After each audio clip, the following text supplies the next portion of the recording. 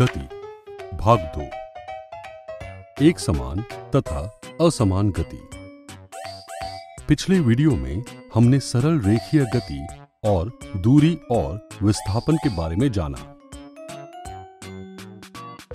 इस वीडियो में हम एक समान गति यानी यूनिफॉर्म मोशन तथा असमान गति यानी नॉन यूनिफॉर्म मोशन और चाल यानी स्पीड के बारे में जानेंगे। सबसे पहले हम गति की दर को समझते हैं। इकाई समय में वस्तु की स्थिति में हुए परिवर्तन से इसे मापा जाता है। उदाहरण के लिए, माना कि एक गतिशील कार मूल बिंदु से चलना प्रारंभ करती है। दो सेकंड बाद ये 10 मीटर दूर स्थित एक बिंदु पर पहुँच जाती है। अगले दो सेकंड बाद ये पुनः 10 मीटर चलती है। हम देखते हैं कि जैसे जैसे वक्त गुजरता है, इसकी स्थिति बदलती रहती है। दो सेकंड बाद, समय अंतराल में इसकी स्थिति में 10 मीटर का परिवर्तन होता है। अब, यहाँ चाल का सिद्धांत आता है, जो कि दूरी तय करने की दर होती है। यह इकाई समय में किसी वस्तु द्वारा तय की गई कुल दूरी के समान होती है। ऐसा पद्धति में इसका मात्रक मीटर प्रति सेकंड होता है। किसी वस्तु की चाल स्थिर हो सकती है या समय के साथ बदल सकती है।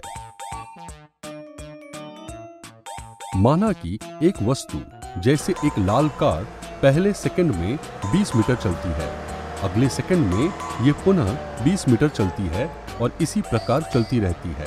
तो इन छोटे समय अंतरालों में कार समान दूरी तय करती है। इस प्रकार की गति को एक समान गति कहा जाता है। एक समान गति से चलने वाली कोई वस्तु समान समय अंतरालों में समान दूरी तय करती है। ये ध्यान देना है कि एक समान गति में किसी वस्तु की चाल स्थिर रहती है।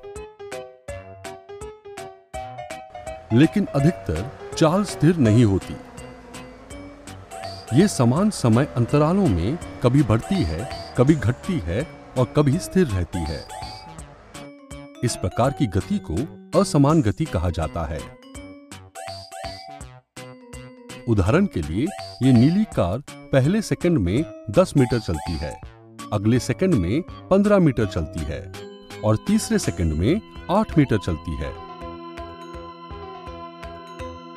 तो इस बार समान समय अंतरालों में कार द्वारा चली गई दूरी समान नहीं है। इसलिए ऐसी गति को असमान गति कहा जाता है। अब दूसरा उदाहरण देखते हैं। यहाँ एक तालिका है, जो दो ट्रकों ए और बी के समय और दूरी का डाटा दिखाती है।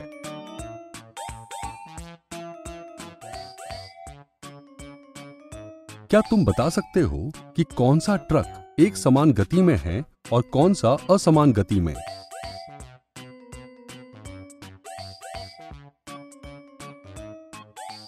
जवाब, ट्रक ए की गति एक समान है, क्योंकि ये 10 किलोमीटर की समान दूरी हर 15 मिनट के अंतराल में तय करता है।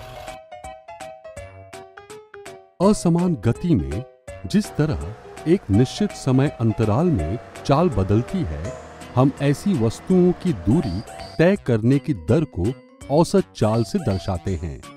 इसे वस्तु द्वारा चली गई कुल दूरी को लिए गए कुल समय से भाग देकर निकाला जाता है। यदि एक वस्तु s दूरी t समय में तय करती है तो इसकी चाल वी v बराबर एस बटा टी होती है। एक उदाहरण लेते हैं। यदि एक कार दो घंटे में 100 किलोमीटर की दूरी तय करती है तो क्या तुम इसकी औसत चाल बता सकते हो?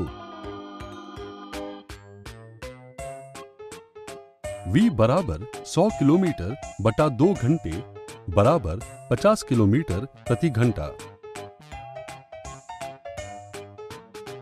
इस वीडियो में हमने एक समान गति यानी यूनिफॉर्म मोशन तथा असमान गति यानी नॉन यूनिफॉर्म मोशन और चाल यानी स्पीड के बारे में जाना।